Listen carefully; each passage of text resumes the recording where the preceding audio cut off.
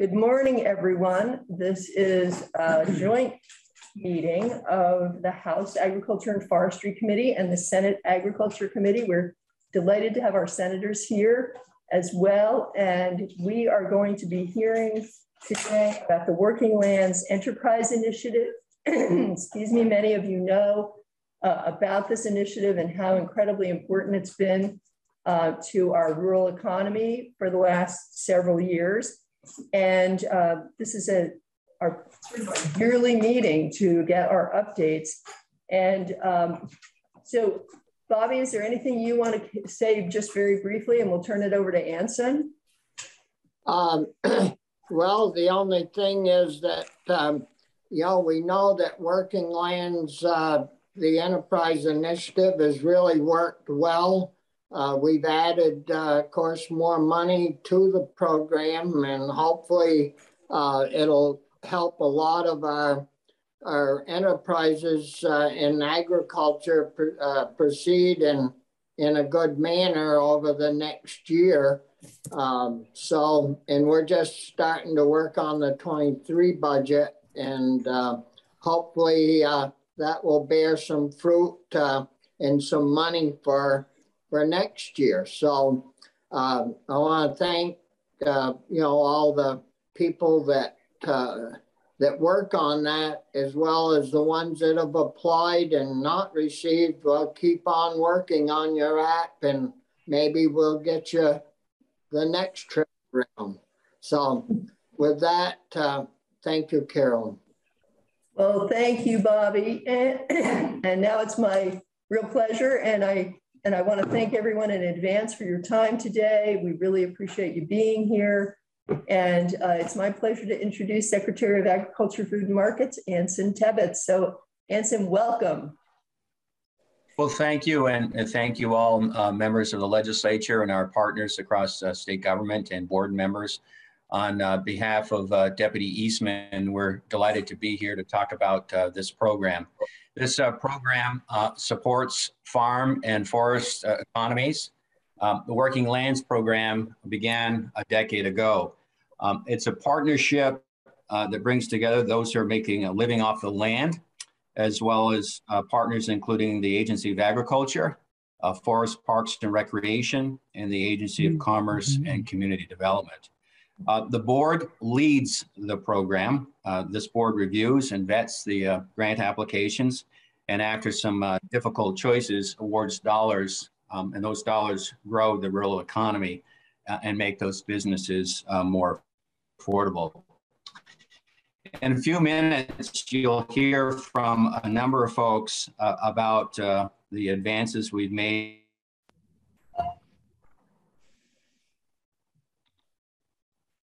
Uh-oh. Where'd he go? Anson needs better broadband. Yeah. Anson, if you can hear me, you're frozen. The joys of living in Cabot. yeah, I know. Anson, maybe you could turn off your video if you can hear me. When he's frozen like that, he usually has to rejoin the meeting. Okay. Yeah, he should be on shortly. Happens quite often yeah.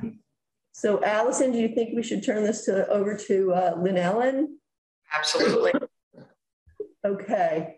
Um, so our first witness and is, uh, wait a minute, maybe he'll be back, is Lynn Ellen um, um, Schmoller. And um, Lynn, Lynn Ellen, you want to pick up from where Anson left off. Maybe we could have an all mute for everybody else. Am I back? Oh, there you are. Okay, yep, you're back.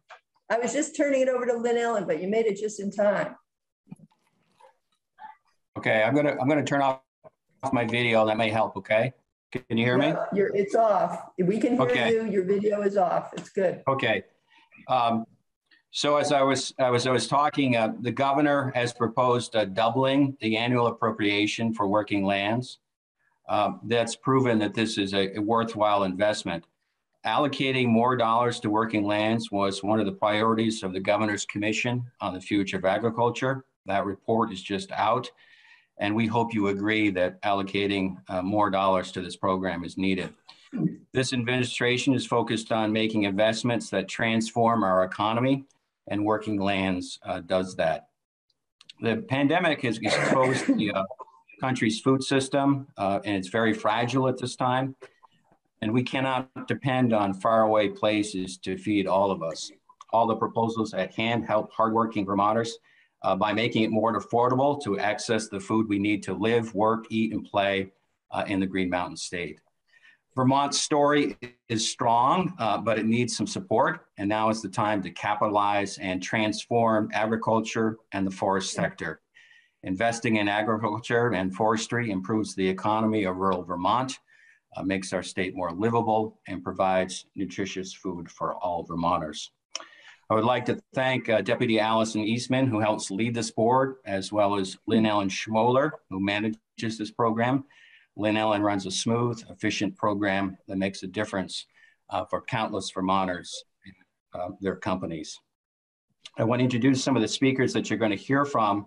Uh, we're going to hear from Lynn Ellen. We're also going to hear another tremendous partner that's been with us uh, for a number of years, and that's Molly Mahar, who's the president of the Vermont Ski Association. Uh, we'll hear from uh, Charlie Hancock, who's a consulting forester uh, with Northwoods Forestry. We'll hear from uh, the Department of Forest Parks and Recreation and Danielle Fitzko. Randall Zott with the Agency of Community uh, Development and Commerce is with us. Another partner is Ellen Kahler with the Vermont Sustainable Jobs Fund. Gus Seelig, uh, the Executive Director of Vermont Housing and Conservation Board. Sarah mm -hmm. Isham, another partner with uh, VEDA with us. Steve Bick, um, of Northeast Forests, Joe Bossen of Vermont Bean Crafters and Vermont All Souls uh, Tortilla. Uh, they're all with us today. And we also have a number of board members that are with us. And if it's appropriate, Madam Chair, um, it would be appropriate if maybe some of the board members could say hi, maybe turn their cameras on and just say hi to everybody to know that and we appreciate the, the, the long hours they put in vetting these proposals, guiding us through that. So with that, I'll turn it over to um, those members if they want to say hi. And then Lynn Ellen Schmoller is going to run through some of the talking points and some of the um, investments we've made over the last few years. Sure, go ahead. Board members. Quick eyes. Call on people so they know who's going and we are, aren't all interrupting at the same time. That would be good. Happy to. David Hubbard. This is David Hubbard. With, I work with uh, GMC Hardwoods. I live in Norwich, Vermont.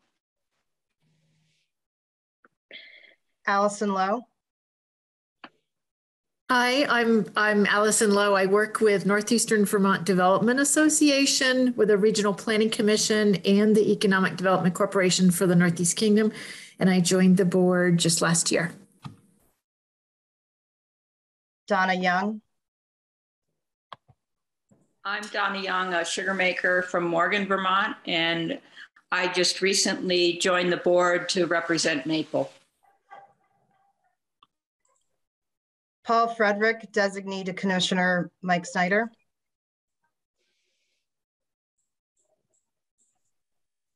Hi, I'm I'm Paul Frederick. I'm the Forest Economy Program Manager for the Department of Forest Parks and Rec. And unfortunately, I get my video on. Well, don't worry, Paul. We're glad you're here. Are there any other board members? I think at this point, Madam Chair, that's it, except for the board members who will be speakers. Okay, I really want to thank you, board members, for the time you put in. Um, really, really appreciate your work. It's a very successful program, and um, and it's just stellar in terms of everything we are looking forward to in, in terms of the future and making uh, our forestry and agriculture sectors more um, successful. So um, with that, Anson, uh, we'll turn it to Lynn Ellen Schmoller. Is that correct? Great. Go ahead, Lynn Ellen. Thank you. Good morning again uh, Chairwoman Partridge, Chairman Starr, and committee members. I'm Lynn Ellen Schmoller. I live in Essex. I'm the program lead for the Working Lands Enterprise Initiative at the Agency of Agriculture, Food and Markets. Thanks again for hosting this annual Working Lands legislative visit.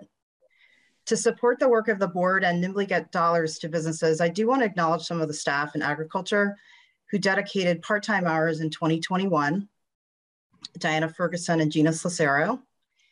In late 2021, the program welcomed a full-time agriculture development specialist, Claire Salerno. And Claire, if you want to turn your camera on and wave.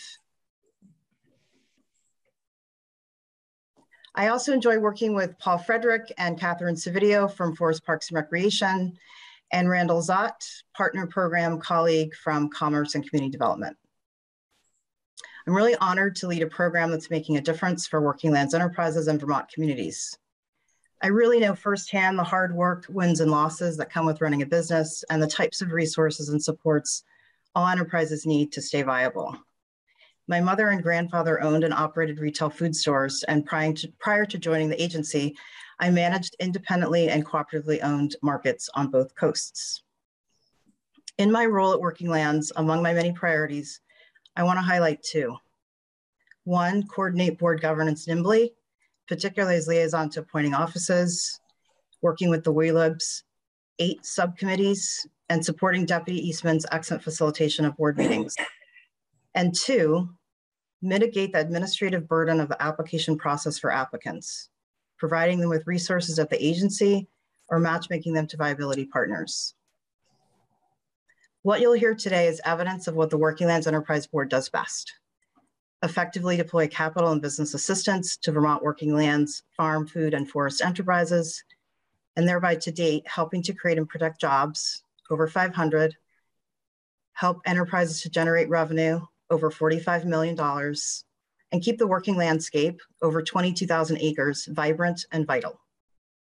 This board strategically allocates the funds it is appropriated, measures the influence of those allocations, and communicates those results.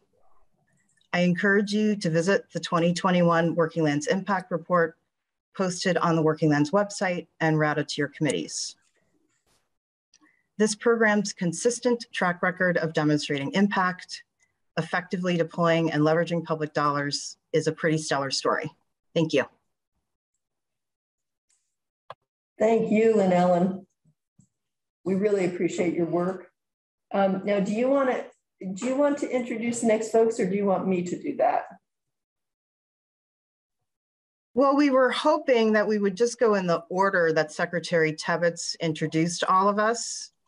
Okay. For uh, efficiency, so just, if that's all right. I'll I think just, folks know who's going next. I think Molly Mahar is going next. And I'll just sort of cue folks. And we have another hour and a quarter. So I'm mindful of time. I, we want to hear from everybody. So Molly, go right ahead. Well, good morning. Thank you very much, Chairwoman uh, Partridge. Uh, thank you. And uh, thanks also to uh, your committee and the Senate Agriculture Committee, uh, to Secretary Tebbetts, and also to Lynn Ellen Schmoller. She does a great job. Um, she's our liaison with the program, and uh, she does a great job and is really wonderful to work with. Um, I'm Molly Mahar, I'm president of the Vermont Ski Areas Association. Um, it's nice to see you all again, and I hope next year that I'll be able to be there in person. Um, it's really an honor to be able to speak with you this morning about the importance of supporting the Working Lands Enterprise uh, Initiative and being able to fund these grants each year. Our working lands shape the character of Vermont. Our mountains, our farms, and our forests are iconic to the state's identity, and they are what draw people here. They are critical for sustainability of our economy, our environment, and of our climate. Ski industry is proud to be a part of Vermont's working lands and is committed to supporting and helping to grow other businesses with which we share this landscape. Over the years, the businesses and projects that we have supported were chosen because they reflect our own values, which are rooted in Vermont's cultural and historical heritage. Stewardship of the land, contributions to the state's economy, and the pride that we feel from living and working in the Green Mountain State. These important businesses and projects support a vibrant and diverse economy through responsible use and stewardship of the land. A healthy working landscape supports resiliency in the face of a climate, uh, changing climate, and that's something that's critical for Vermont now and into the future. Over the past few years, the Vermont Ski Areas Association has been able to support a diverse group of projects that have helped to educate children and families about the importance of farming in Vermont, helped to support responsible forestry and a healthy forest products market that are so critical to keeping large tracts of forest land intact and maximizing carbon sequestration, helped a business that builds season extending greenhouse structures to meet the growing demand from Vermont small farms, supported an, another farm business that's dedicated to preserving the diversity of fruit bearing trees that grow well in the northern climate. And this year's grant will support a project that will help guide BIPOC farmers in gaining access to land, helping to promote diversity and equity. And the range of these projects and businesses and the way that they allow the ski industry to support different facets of the state's working lands is really unique to the Working Lands Enterprise Initiative. And we are pleased and proud to continue this collaborative partnership. And I would also like to thank the board for all of their hard work um, when they go through and, and look at all of these grant applications and award these grants. So uh, thank you very much for your time this, this morning. I was very pleased to be able to be here. And thank you, Molly, for all of your work. We really appreciate it. Um, next up is Charlie Hancock. Welcome, morning. Um, morning, everybody. Thanks for the opportunity today. Um, so for the record, my name is Charlie Hancock. I'm a consulting forester based up here in Montgomery. Um, I also currently serve as the vice chair of the Working Lands Enterprise Board. Since this program's inception, the Working Lands Enterprise Fund has funded over $7.3 million in projects, leveraging an additional $11 million to 249 enterprises. And these investments continue to make an impact across all 14 of our counties. These investments are designed to support businesses at critical growth stages with a specific focus on maintaining an active, working, and vibrant landscape the foundation of Vermont's economies and communities, and frankly, as Molly pointed out, our identity here in the state. It's also important to remember as we think about this landscape that these businesses have a conservation effect, keeping farms as farms and forests as forests. I can't help but think about the opportunity we have right now to look at our sector through the lens of climate adaptation and resilience, as well as community vitality and economic opportunity we have an opportunity at the critical moment we're in to really cement the connections that need cementing and catalyze transformational change through our investments and lift up our work as part of the natural climate solutions that we need, just as articulated in this first iteration of our climate action plan. Much of the work of the Working Lands Enterprise Board itself is governance. Our committees facilitate planning and analysis that supports effective and efficient board decision making that in turn amplifies our impact. The grant review process often brings together public and private thought partners who make investment recommendations that proactively address the board's strategic considerations and opportunities, enabling the initiative to both be innovative and responsive as we address both the challenges and immense opportunities that we have before us. So thank you very much for your continued support. Um, and at this point, I think I'd like to pass it off to our friend Danny Fitzko, the Director of Forest Parks and uh, Director of Forests at the Department of Forest Parks and Recreation. All right, thanks, Charlie. Go right ahead, Danny. Great. Uh, good morning, everybody, and thank you for the opportunity to visit with you about the Working Lands Initiative. I am here on behalf of Commissioner Snyder, who sends his regrets. He's in a Zoom window in another committee testifying right now. Um, I am Danielle Fitzko. I'm the Director of Forest with the Department of Forest Parks and Recreation. And I've been in my role for the past three years. And honestly, I have not had that much engagement with the initiative or the board until recently. And I would be remiss if I did not take this opportunity to tell you how impressed I have been with the board and the overall impact of this initiative. It is truly a partnership of balanced voices that is orchestrated by the team really well at the Agency of Agriculture, Food and Markets. And the board really works hard and together to make decisions for the best interest of Vermont's working land enterprises and the future of Vermont. I had the privilege this year to sit in on the planning committee for their symposium. The symposium was held to help determine how to invest this unprecedented $5.3 million with FY22 funds. I've been around grant programs for a long time. I've been with the state for over 20 years. And typically, when we get more money, we, we channel it in the same way that we've always channeled, tack, tacked it on. Um, with the short time frame to move these funds, most boards would have went in that direction. Did they take the easy way? No. They took the time to step back, to think big, and to think forward. They listened to stories curated by a team. That's where I came in. I helped tell one of the stories. What does Vermont look like 10 to 20 years from now? What are the challenges and the opportunities for our working lands enterprise, enterprises with the goal to consider how to put these funds to work to meet the current challenges and opportunities today and 20 years from now. They listened and they visioned and they determined where Vermont needs to strategically invest. They considered diversity, equity, and inclusion. They considered our climate crisis. They considered the current and future workforce. They considered what technical supports business, businesses need to thrive, and they considered the current and future Vermonters. And the outcomes of this thoughtful and intelligent work is in the grants that they offered. Already, $2.1 million have been awarded since January to across all sectors, across all counties of Vermont in the following areas. There are service provider grants. These are given to organizations to support the vitality of enterprises, giving them businesses the technical resources they need to succeed. Small business infrastructure projects. The board recognizes that business, businesses come in all shapes and sizes, and these grants touch businesses of all shapes and sizes, from small farm stands to large manufacturing facilities. These particular funds support market sales strategies and enhancing production and manufacturing efficiencies at a smaller scale.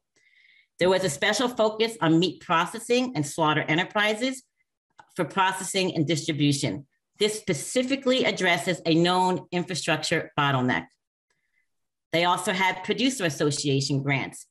Associations are often the backbone to support businesses. These funds help with organiz organizational development, including business structure, onboarding, governance, board training, and capacity, really core fundamental components of a successful association. $3.2 million will be awarded in April. The grants are in the review process now, and they are for supply chain impact and market level infrastructure impact. These projects are designed to keep the pool in the supply chain, to keep it moving and, and reduce the barriers and meet the larger investment needs with grants up to $250,000.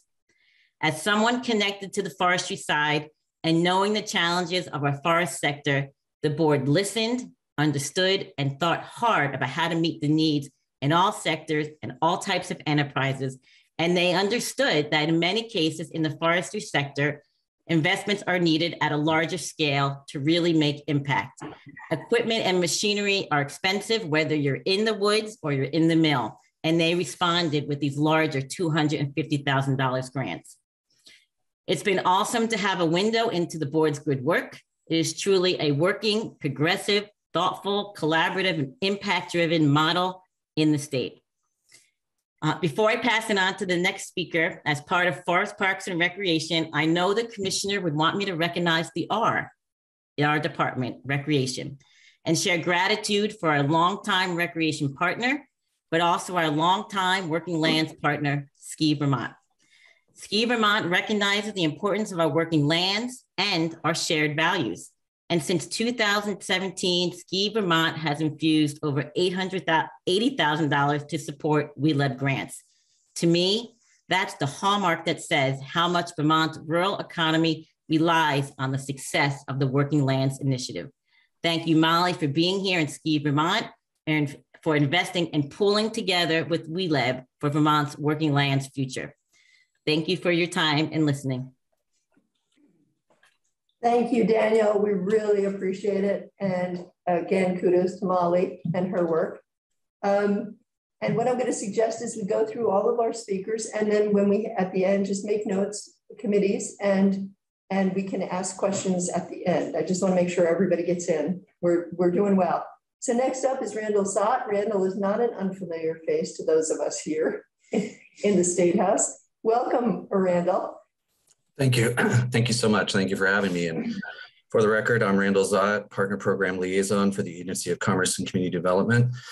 Uh, and yes, when I last saw some of you, I was I was representing the beautiful Windsor 4-1 district. Um, but that district has since received a major upgrade uh, by the, the new member from Barnard there in House Ag. Um, I'm happy to see that. Great improvement for the district. Um, uh, and although we are focusing um, mostly on fiscal uh, year 21 impact, one thing I wanted to note, because I did a quick scan before uh, coming here, I, I, looked at uh, Working Lands Enterprise Initiative funding through the years, and the initiative has funded projects in the legislative districts of 10 of the 13 um, joint ag members here today, which is quite impressive, I think.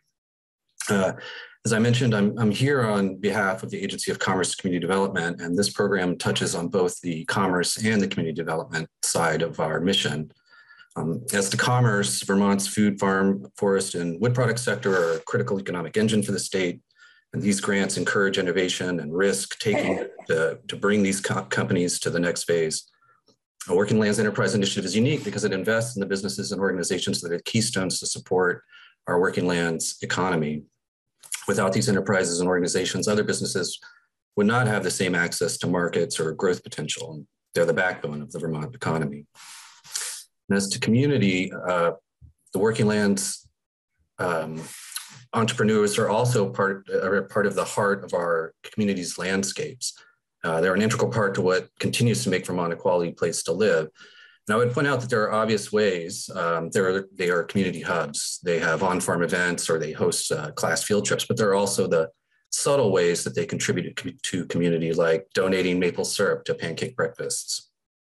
And I wanted to share uh, a couple of highlights from a visit to one of our uh, fiscal year 2021 grantees. I went to Jasper Hill Creamery to sort of see how the grant was being implemented and see the impact that it had on their operation.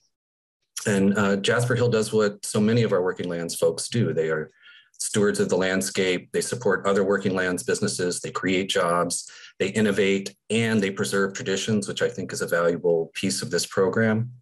Um, and there are two things in particular that I wanted to share. One is a very easy piece, which is, uh, and it's mentioned in the impact report that you all uh, will have received.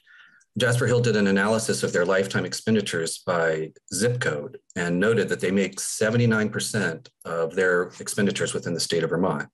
And that alone is pretty impressive. But the really astonishing piece is that they did a further analysis and they saw that 62% of their expenditures are within 15 miles of their farm, which I just blows me away. I think that's super impressive. And then there's a little more subtle piece of their impact that I think it's just important to share. It was very noteworthy. It was a minor thing, but it, it, it, it, did, it did stand out and then just that they employ two uh, forestry professionals to harvest spruce trees from local woodlands, and they extract the cambium to wrap one of their award-winning cheeses, Harbison, if you've ever, ever had the pleasure of trying it. And they also mill the spruce boards and use those boards to age their cheeses in the cellars at Jasper Hill. And uh, the economic, excuse me, the economic impact of that might be small, um, but as all of you know, the, every little revenue stream that can be stitched together for working lands businesses uh, is important. And it keeps a woodlot well managed. And that is difficult to measure but it's another thread in the, the larger weave of what makes the working lands enterprise initiative so valuable for vermont. And i didn't have this in my uh, prepared remarks but i did just want to emphasize to the committees what good hands this program is in. Having you know briefly been witness to the various board meetings, the board members are astonishingly accomplished, thoughtful in their work. And just another little operational detail on the staff side that you may not be aware of, but it's just it just shows the level of care and attention that, that is applied to this program. Uh, there's a there's a backside grant application system that people have to enter all their information into. Sometimes people start applications and they don't finish. Now, in a lot of grant making capacity, that stuff just kind of goes unnoticed. But in this in this program, the staff says, "Hmm, why did these people not finish their applications?" And they actually get back in touch with these people and contact them and find out why to see if there's an impediment in the grant making process. And that level of attention and care to detail, to me, just shows everything you need to know about how how seriously people take uh, their work in this in this initiative. So again, thank you for your time. Thank you, Randall. Really appreciate your perspective. Um, and next up is Ellen Kahler. Ellen, welcome. Hi there. Nice to see you all again. Thanks for the opportunity. Um, also a big fan of this program, as you all know. And uh, I've been serving along with my counterparts of Sarah Isham and Gus Seelig on the board since its inception, because in the statute, uh, you may recall there are three ex officio seats that don't rotate off the board and are not and are not members of the administration. And our role is to help provide some consistency and and historical knowledge over time uh, as well as some deep uh, expertise in the working land sector uh, as a whole as the board is then considering strategic investments in our sectors. So we provide a lot of consistency, we provide a lot of historical knowledge, uh, a lot of content knowledge, but then ultimately we don't actually vote on the projects themselves. So we can influence, we can inform, but just so you know, we don't actually vote uh, on the grant awards themselves. Um, it's also important to know that um, uh, that you know, part of the reason why in, in, in the case of, of my position, it was named in the, in the statute, the executive director of the Sustainable Jobs Fund, was in part this link to the, the farm to plate investment program. Um, and so what I try to do when I'm at board meetings is represent uh, not just uh, the farm and food sector as well as the forest product sector, but also what is been represented in the farm to plate strategic plan uh, that have had so many Vermonters input into that process. And uh, as you know from H566, we're also all contemplating that uh, similar kind of uh, having a similar kind of plan for the forest products industry, which again would be used as a foundational document to really support strategic uh, investments and decision making uh, by the board as a whole. Now, one of the things that I think it's important to, to know is, is not only how, we know how popular this program is with all of you. You, you all have it very close to your heart. Um, it's also a very popular program within the, the farm and food sector. And that's because you all have been consistently providing funding every year. The challenge, of course, is that, that, that there's not a consistent level of funding year over year, which makes um, it difficult for the private sector in particular to plan thoughtfully about well what what's the right year for me to apply? Because i have a big project i want to do. Geez you know there's a whole bunch of money this year. There might be a million dollars but next year maybe that'll only be $500000 and so it can be really that choppiness in in allocation is really challenging which is why in the new farm to plate strategic plan priority strategy number one is to try to ensure that every year there's at least $1.5 million in funding available to the program. Now, this past year, fiscal 22, you all did an amazing thing. You, you put five and a half million dollars into this program. Um, and, and, and that's really uh, unprecedented and we we still blew way past that figure in terms of requests. So as you i think all know in the budget adjustment act um, there's an additional uh, 2.2 million dollars added to the fiscal 22 uh, budget for this program and we will not have any problem disp- dispatching those funds. Um, uh, as you may know, when we were going into the supply chain innovation and, and, and infrastructure innovation grant rounds, which are those larger rounds, larger dollars that Danny Fitzko mentioned, we only had uh, uh, $3 million left to award in fiscal 22, and we had over $7 million in requests. And these were strong proposals, right? If you're going to do a $250,000 uh, grant, you you burn through a lot of millions of dollars pretty pretty quickly on a small number of projects. And so we're very, very grateful that uh, it looks like there'll be this extra $2 million. I haven't kept up with where the Budget Adjustment Act is in the process. So I'm hoping that we're all locked in and that extra 2 million will come because that'll mean that we'll have that, we'll have a, an extra 2 million to put towards these larger grants, which are designed to be uh, really impactful in terms of of the marketplace as a whole and the market for products and they don't just benefit one business in, in either the farmer forest side or the forest uh, and, and wood side of, of, of things. If they're actually designed to have multiple ripple effects on many, many other businesses. Um, and so you get a lot of bang for a little bit of bucks uh, when you uh, invest in some of these uh, larger grants that we're giving out. So I really want to thank you, you all. We we continue to get oversubscribed with requests in this program. So all the more reason why um, anything that can be done to increase the amount of support for this program over time and to have it be consistent year over year uh, is really, really critical. Uh, so I want to thank you uh, very much for your support uh, and for this program, your dedication to it. Um, it really does make a big difference uh, for the businesses that and the service provider organizations that work with businesses to be able to continue to really grow this sector.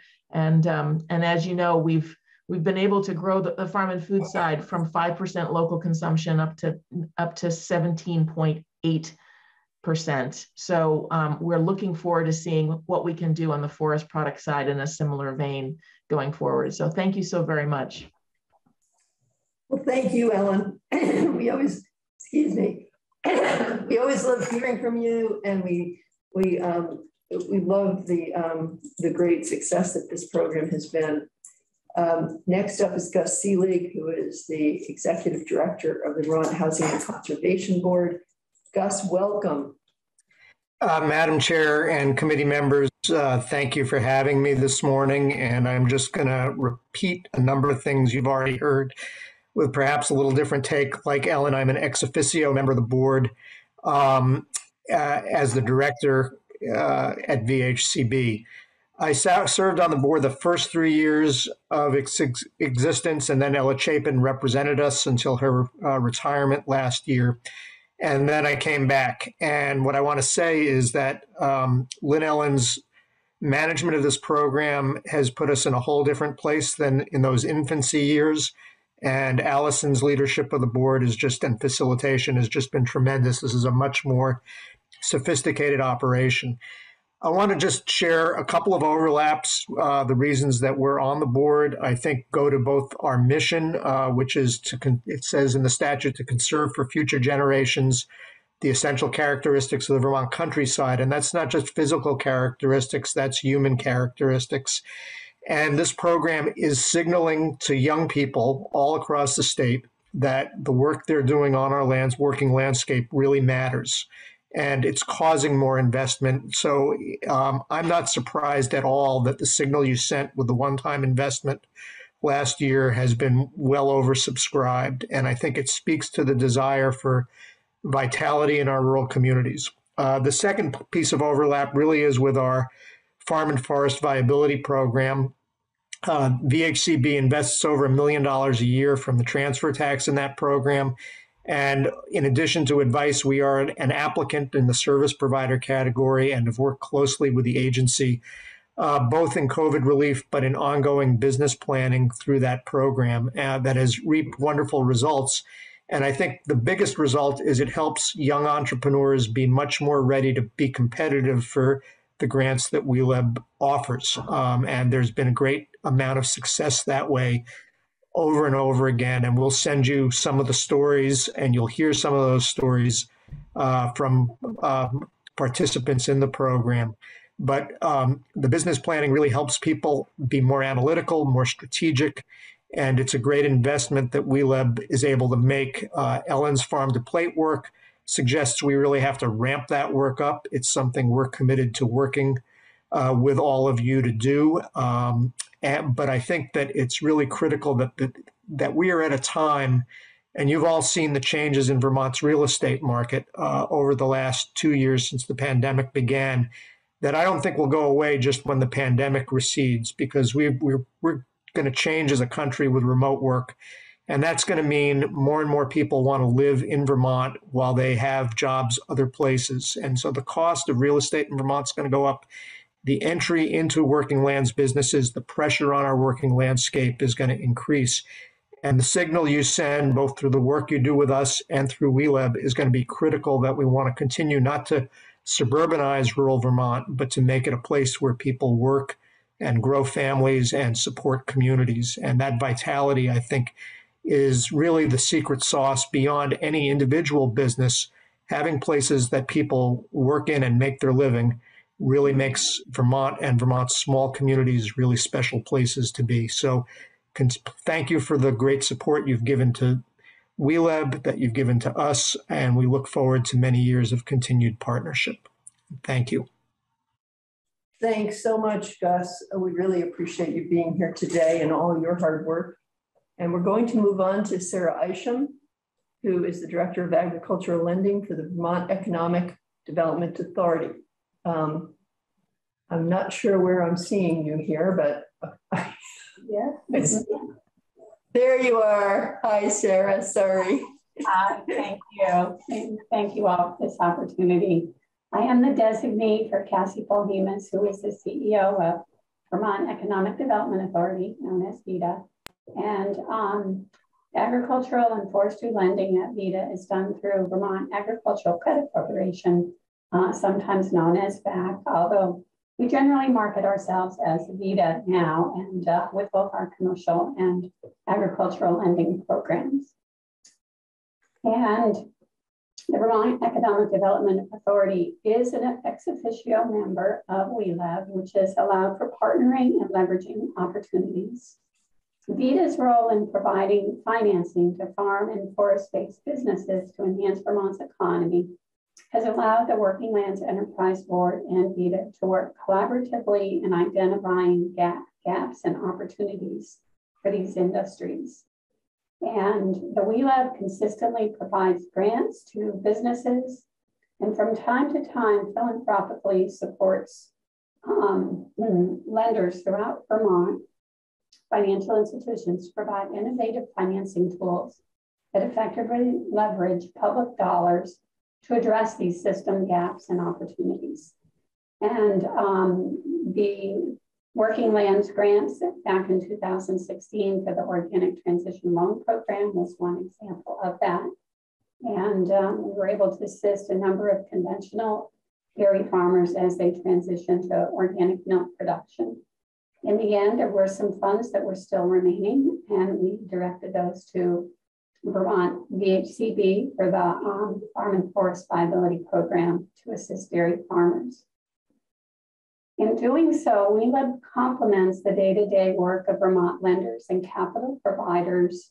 And there have been a number of different um, businesses that we have worked with at VEDA that have benefited from um, Working Lands Enterprise grants. Um, many of them are larger businesses, but there have also been a couple of examples where our lending really was, um, was leveraged by Working Lands grants that provided capital for these farmers to be able to really to cover their share of, um, of doing a project. And a recent one was for was for a couple to purchase an existing value-added business, which they moved to their own farm. And they, they needed to have funding to help them um, build hay barn, creamery, and purchase machinery and equipment as part of that business. And a WLEB grant was um, directly beneficial in leveraging our financing there.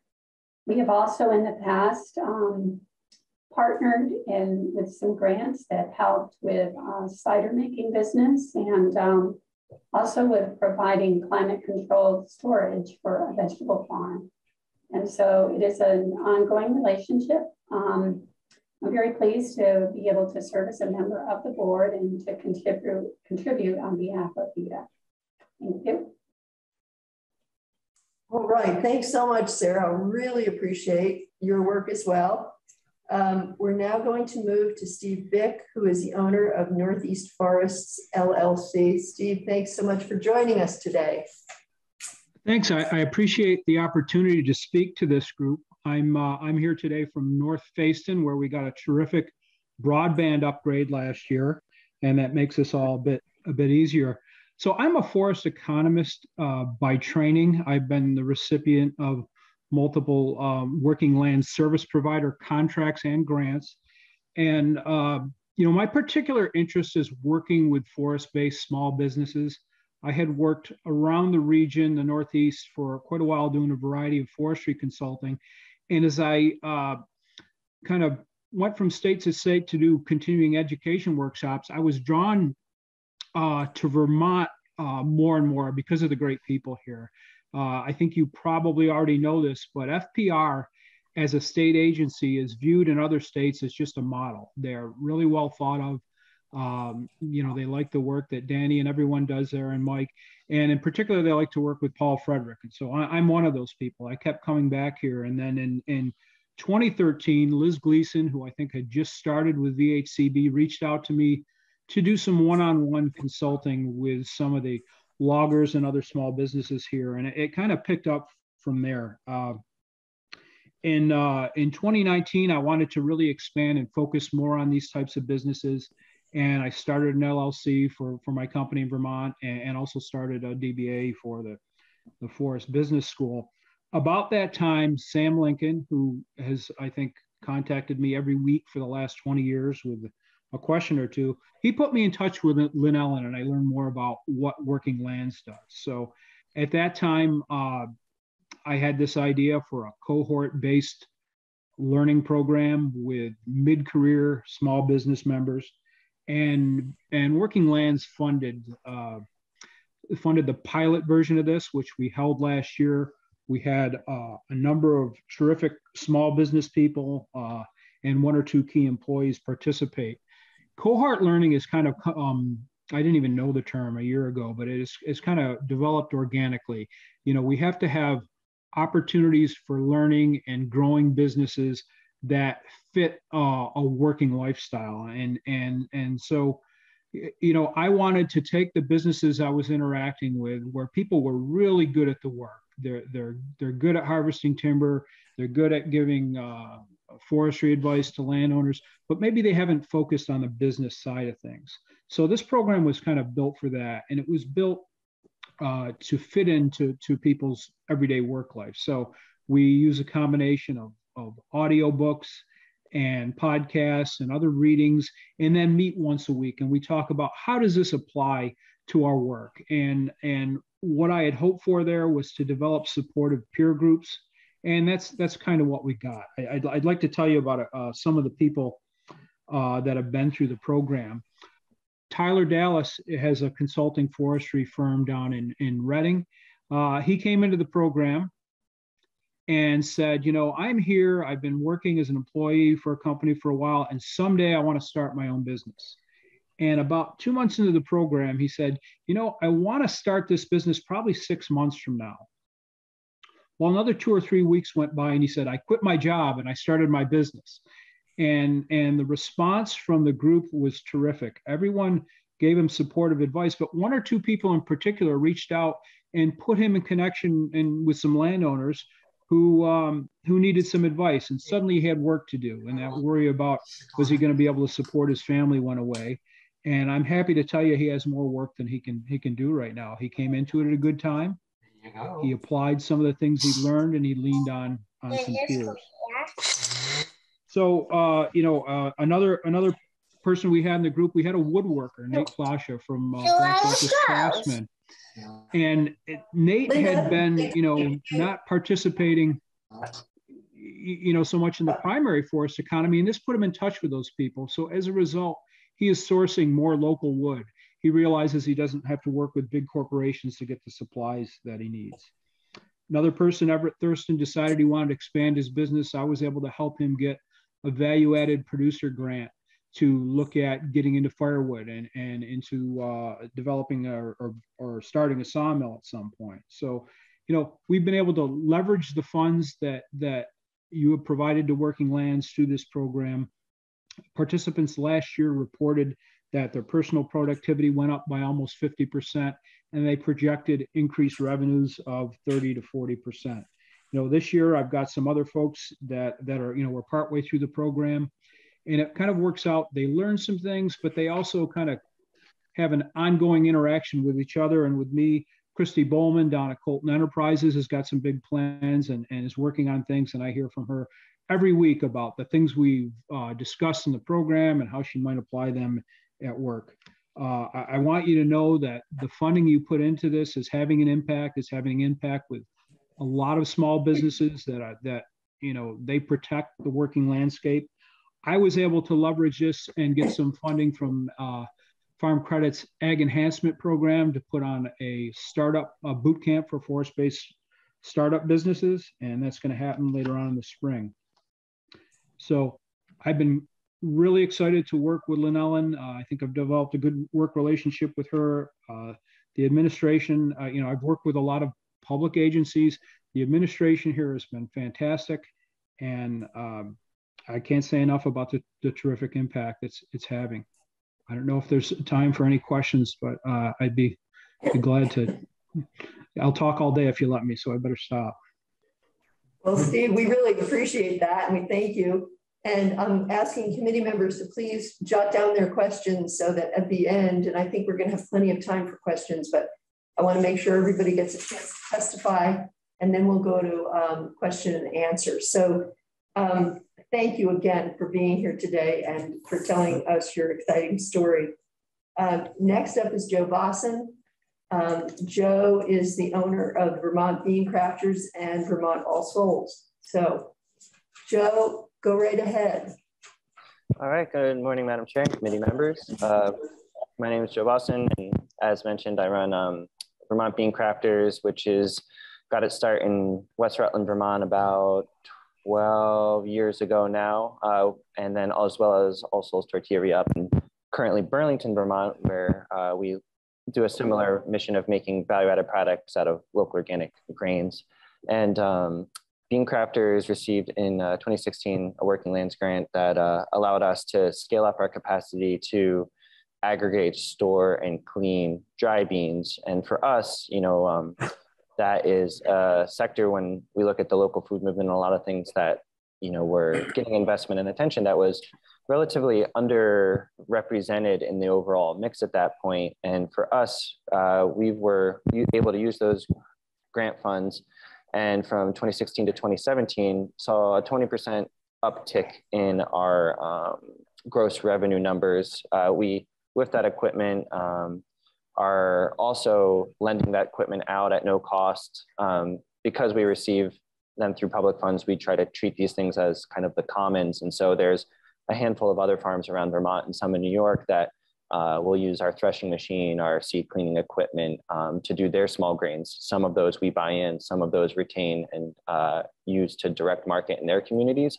So when we think about the ripple effects of the opportunities of one organization and how those bleed into the others, I think it's really interesting um, and important to, to give voice to those sorts of things. Beyond the uh, other aspects and ripple effects of the working lands funds that we were able to get, um, you know, at the time of receiving that, we were just a small business with, it was me and three part-time um, people, you know, making, you know, okay wages. And over time we've been able to grow our markets and grow um, mature the business to the point where now we have um, uh, three full-time and three part-time people all you know we're now our, our wages are about twice what they were before getting this funding back in the day we're from a quality assurance standpoint being able to bring in grains that um, grains and beans that otherwise might not meet spec and raise into spec for growers that don't have uh, post-harvest handling infrastructure on their own has been a big boon for us to be able to work with smaller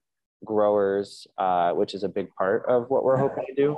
And um, within all of that, when I look forward and all the things we're posed to do now, even with the setbacks of um, you know COVID and navigating the last couple years, we're in the midst of rolling out uh, new products and a new retail-ready dry bean program um, in pre-printed packaging that we're going to be pushing with a broker to get into regional supermarket chains. And in all of this, we are working on keeping all of the, the beans and grains that we're working with source identified through the supply chain so that the network of growers that we work with are uh, transparently represented in the products we're putting out to the world um, moving forward. So, so keep your eyes out for that rollout moving forward. Um, when I guess I would also just say, you know, being um, along this way, we were also people who have benefited from the work of farm viability, uh, both through technical assistance and, and, and, grants. And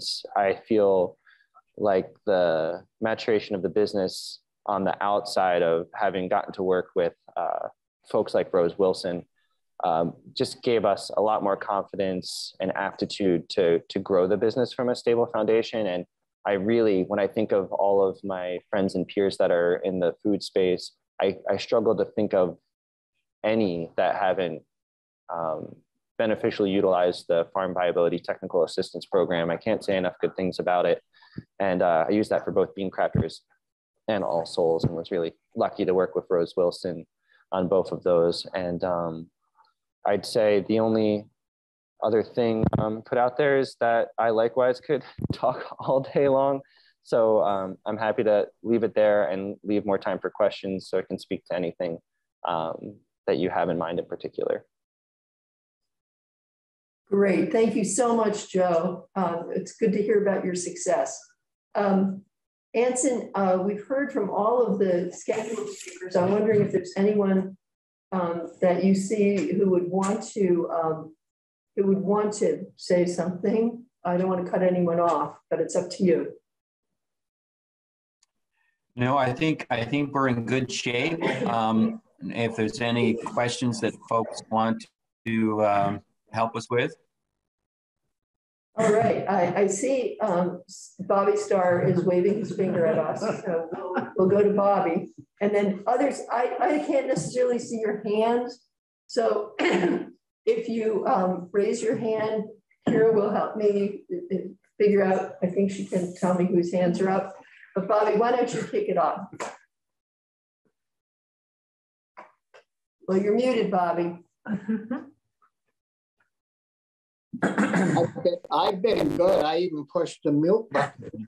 Um, but anyway, uh, uh, I want to thank um, all you folks that testified this morning. Uh, one question came up in regards to the uh, $2 million that the House put in and where the, the supplemental budget was in the process. And I, I must say that um, the Senate, of course, I, I'm lucky that I served on approps as well as ag. Uh, so, but I was lucky um, in the Senate, uh, there wasn't hardly a question from anybody in regards to working lands or our ag money. And we passed the bill back to the House on a 30 0 vote. Uh, so you know, it's really, I think, very solid that we're going to get the extra uh, two million. It's in, you know, there's always some things between the House approach and the Senate approach that that's different. So, so all they got to do is work out those differences. Um, you know, I I listened very closely this morning and and you know, what a marvelous story uh, we've heard. Uh, and 10 or 11 years ago, when we were starting the Working Lands program, when you're starting a, a program, you never you never really know how it's gonna work out. And of course, the last thing legislators uh, want is getting egg on their face from starting a program and having it go belly up or not work properly. Uh, and, you know, I, I must say that I've been pretty, I've been pretty fortunate over the years to watch farm and ag and rural Vermont programs come together and they've worked well. And one thing that that's impressed me about working lands is the process that the applicants have to go through. Um, and the, the great thing is, if you think about it, we've got ag, we've got VEDA, we've got the Forestry Agency, VHCB, ACCD, um, you know, all these and the regional planning uh, people are even in on it.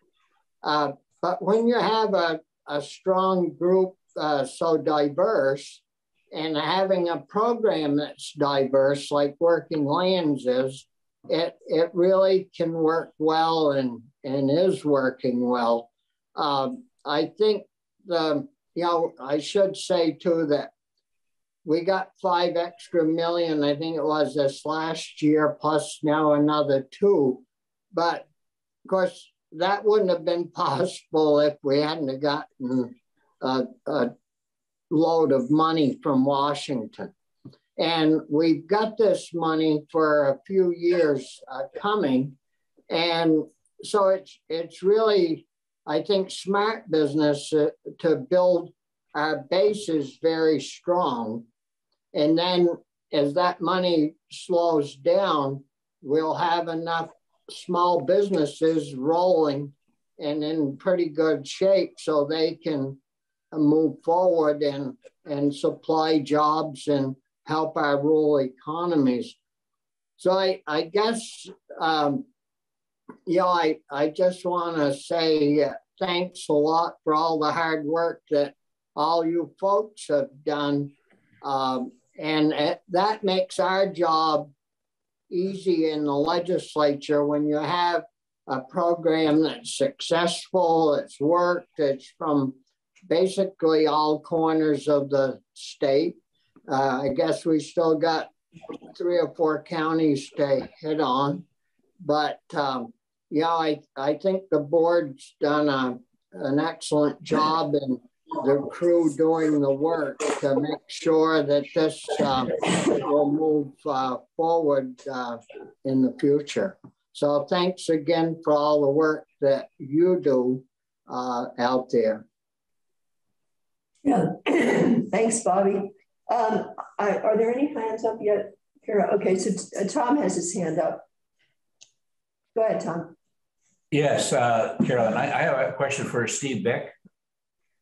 Steve, uh, as you look into the future, uh, say the next five or 10 years through your crystal ball, where would you uh, see entrepreneurs, in, in, small business entrepreneurs especially, uh, looking at what kind of forest processing products, uh, what kind of pro, uh, forest activity do you see entrepreneurs going into? You're muted, Steve. Sorry, I do that all the time. So I, I think they're going to have to take on the challenges that are there. So we have a lot of, of the working landscape here in current use and, and landowners needing services, and landowners that want to do good work on their property. And I see us moving um, for, and we're already seeing this moving farther from just simple, I'm going to pay you and harvest your timber to I'm going to help you accomplish your, your silvicultural goals and it may be more of a service that has to be paid for. Uh, and the other, you know, the the uh, labor force issue is, is, no is is no secret to anyone here.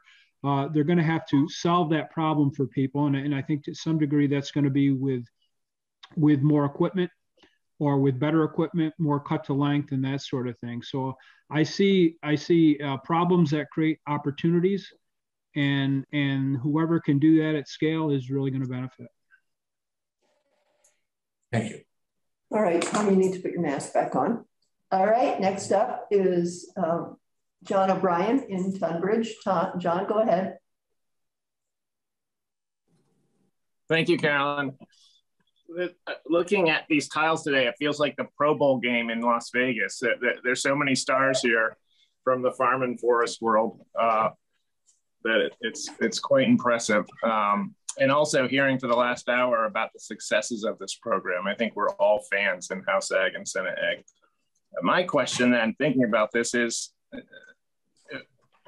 if anybody wants to jump in, where where have there been failures that you've learned from, or or what could could Working Lands do better um, besides just money? You know, what are the challenges going forward?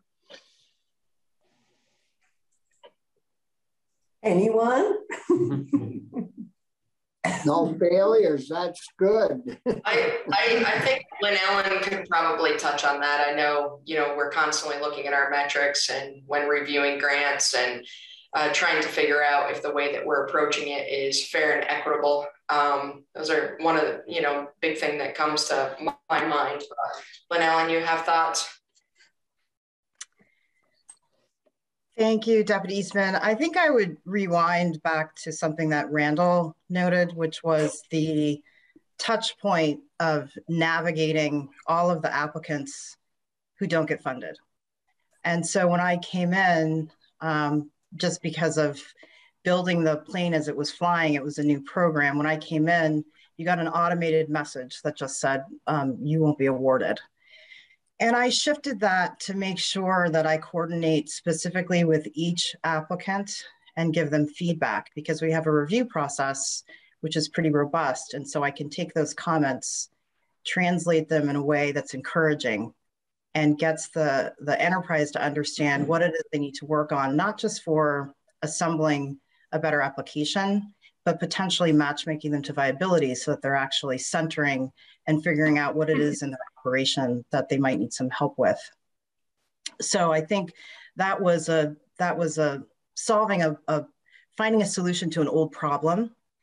Um, I would say that I've been really impressed with the board's ability to flex when they needed to. Um, in fiscal year 19, um, really led by the efforts of former Deputy Commissioner Sam Lincoln, Alyson Eastman, Gus Seelig-Shop, many others, there was a real concerted focus on building executive business skills and scaling up investments, particularly for forest sector.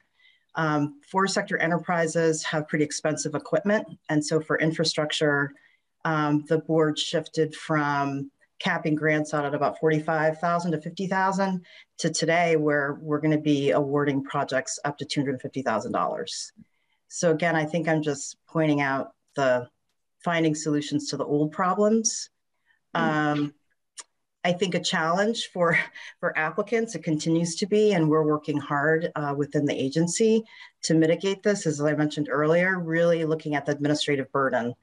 Um, helping them through the application process. So I conduct one-to-one meetings with interested applicants. I think August through November of this year, I've had a total of 50. So that could be a 15 minute video visit. It could be a phone call. It could be a half hour video visit. It could be an hour. It could be follows up, follow-ups of emails, introducing them to viability partners. But I do think that's made a distinct difference we designed uh, webinars that we record and we post on the website so folks can visit that if they can't make the webinar to also help them unpack um, everything that's needed to assemble an application. So that, that's what I would share. Um, I'm not sure if there's any board members that would want to speak to this as well. Thanks, Lynn Ellen. I noticed that Ellen had, um, Ellen Kahler had unmuted herself and I wondered if you wanted to add to this, Ellen. Yeah, just very briefly, you know, I think that I think that generally speaking, things are are only really failures if we fail to learn from them. And I think, as Lynn Ellen said, this board has built a culture, and the agency uh, supports that culture of continuous improvement. And so we're we're very reflective every year. We have an annual symposium for two days, usually, or day and a half, where we really take stock in like what went well this past year? Where did we have some things that maybe were a little too sticky and didn't really quite work out as planned? And and so we're constantly adjusting and making improvements. And and i really think that you know everything i can't support uh, lynn ellen enough in how she's leading this program on a day-to-day basis. She's doing a phenomenal job. And that that personal touch and outreach that she does really does make a difference because sometimes we get applications in where it's it is really clear there's a nub of a good idea but they're just not ready. And so then referring them the board then you know will say Let, let's refer them to the farmer forest viability program or let's refer them to so and so that information then gets back with really clear guidance like this would really help you. Come back next year. And routinely year after year we get applications back for a second a second run at it, uh, uh, as Senator, Senator Starr was saying. And, and there's so much more improved, the applications and the concept and the readiness to receive those funds. And the last thing I'll just say is, you know, I also don't think that if we've had a very low, in air quotes, failure rate of of app of awarded grantees that we that just couldn't complete the project, where we've had to um, de-obligate the funds and then re-obligate them.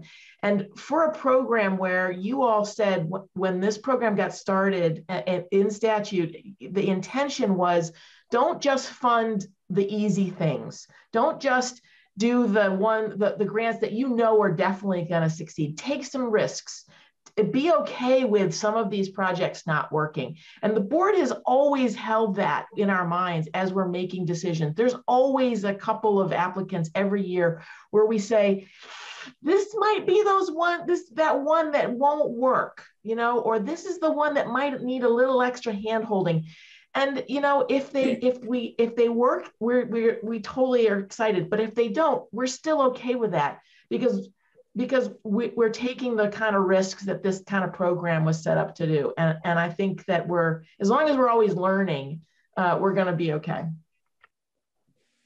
Thanks, Ellen. Um, Chris Pearson, you have your hand up. Go right ahead.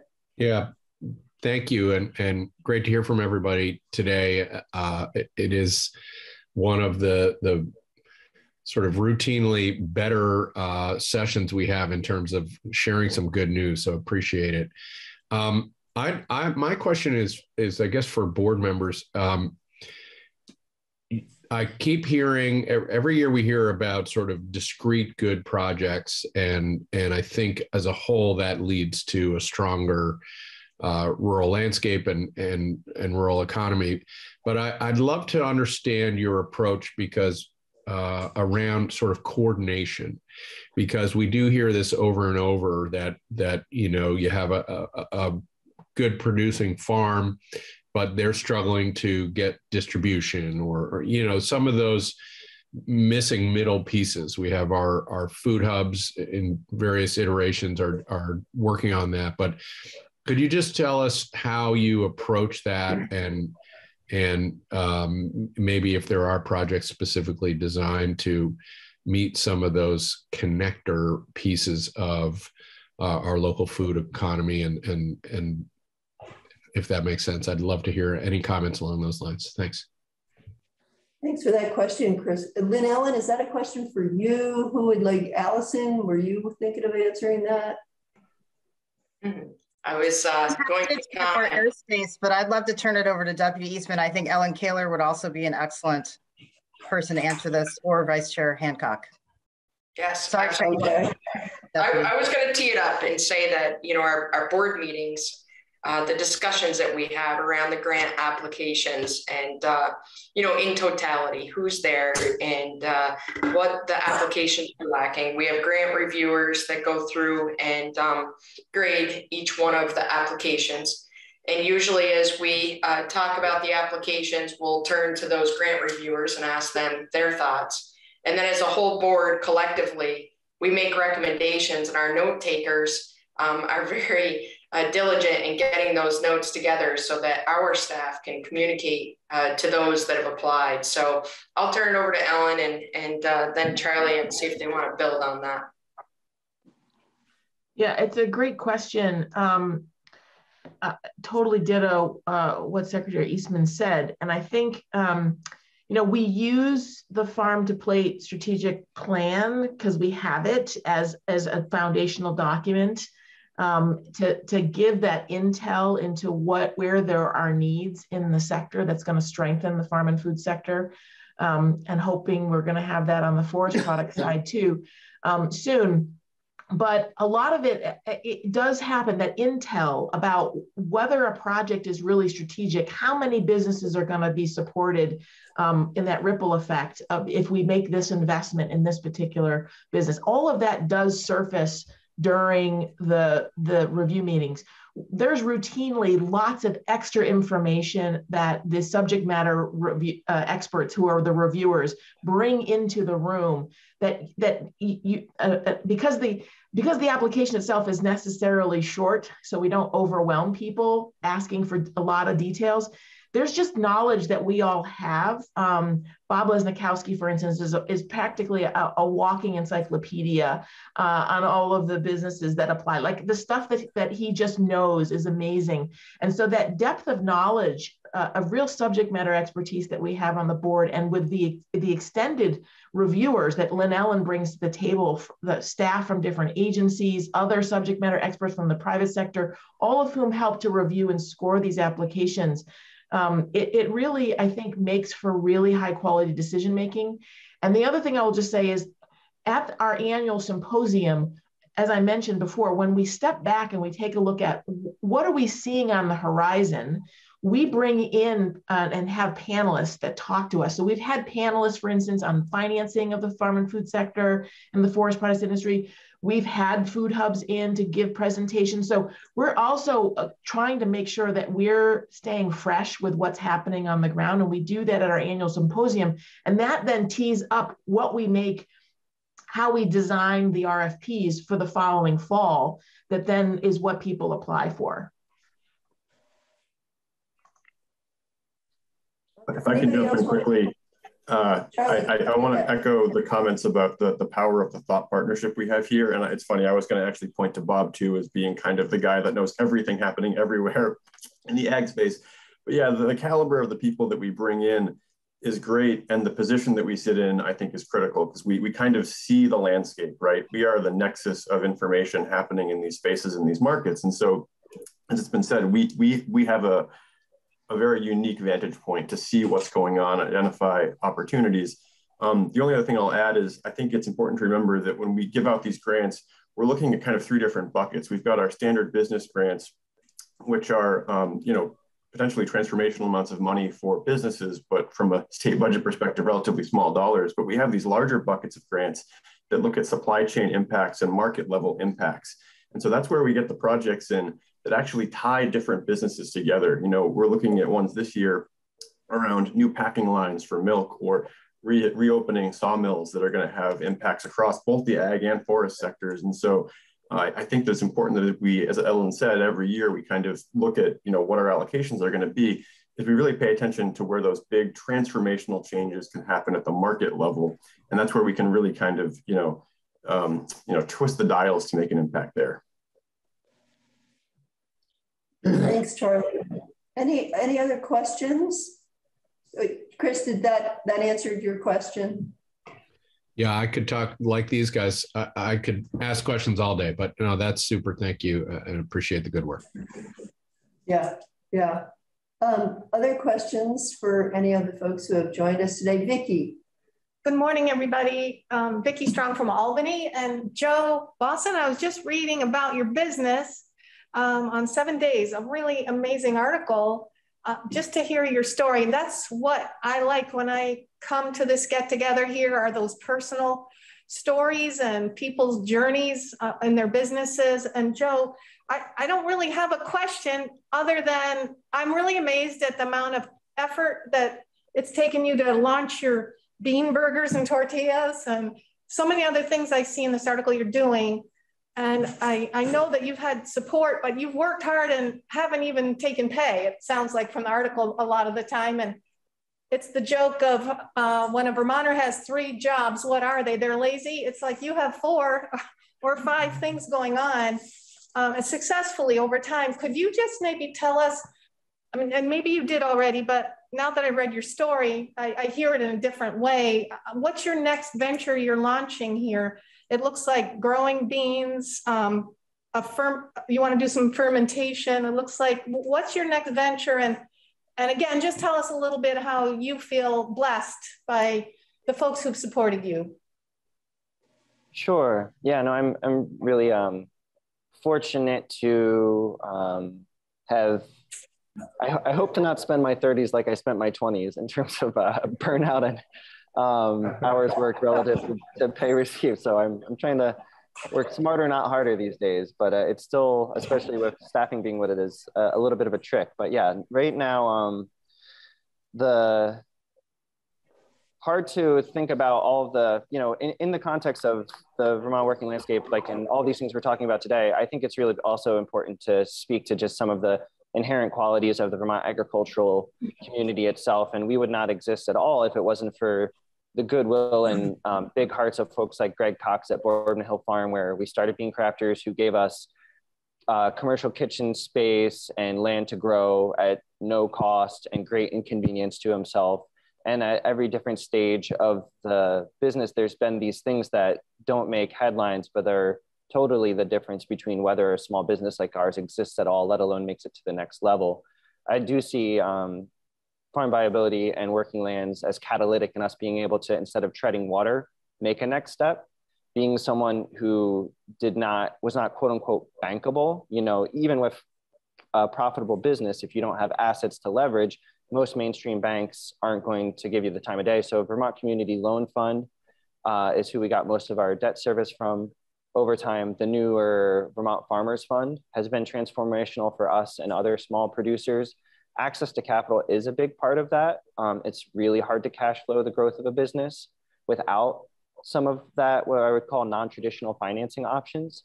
And then in terms of the things that we're looking at doing next, um, also as we recently launched a new flour tortilla line that's um, just about a year old now, and we're in the midst of um, scaling, and that's going really well. And we have a super saturation of demand for that. We've been scaling our um, fried chip line and are looking at investing in equipment to scale up our chips. Also, a super saturation of demand in that. And so we're looking at a new continuous fryer, and then in the on the coattails of that, exploring with some farm partners on what the implications would be to add a uh, a Vermont um, organic uh, potato chip line, which is something a Northeast uh, you know chip is something that I'm still beguiled does not exist in the marketplace and i see having a huge applica- uh, opportunity for us to really be uh, further synthesizing raw agricultural products into value added products and getting those products into markets where they otherwise might not have access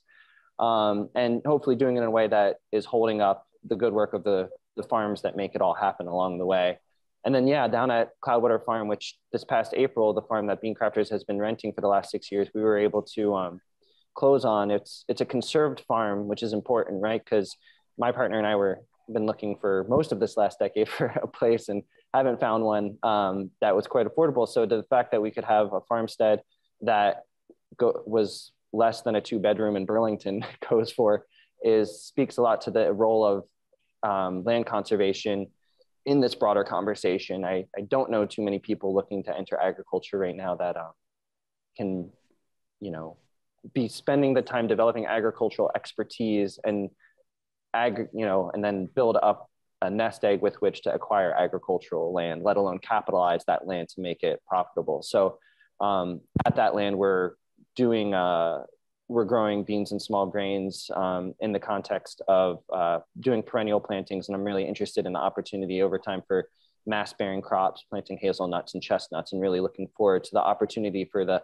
interplay of these perennial um, crops with the annual crops from a resilient economic and ecological resiliency. And in particular, because we have the commercial kitchen on the farm there, also building the value added products to support what I see as emerging sectors to be able to, as other growers are planting these things, we can be part of that patchwork quilt of making these things help meet the market um, in turnkey ways. So those are, you know, I, I'm really excited about, you know, the the decades ahead because I still see so much not getting done.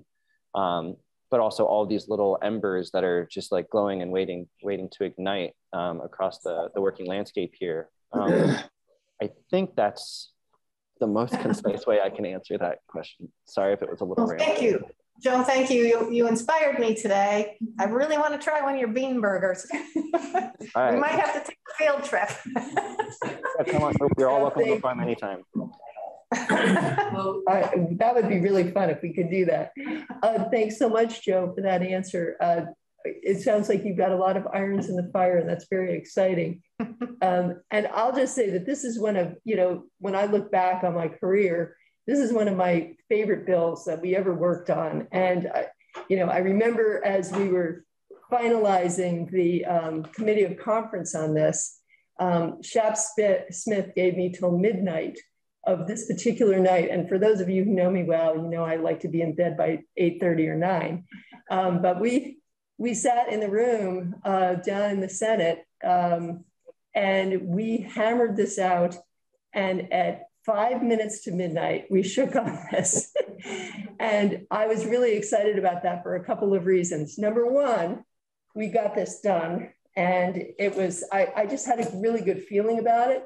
But also, I had gotten a call from my son that my daughter-in-law was was in labor and was probably going to have my first grandchild the next day. So it was totally exciting. I got to shake on it and I got to head down to Albany Hospital for the birth. But anyway, Um, I, I want to thank you all for all of your hard work. This really takes an incredible amount of um, um, networking and thoughtfulness. And uh, I like Charlie's thought partnership um, expression. And uh, for those of you who I are the do people volunteer to be on the um, board, um, or, or are we now paying you?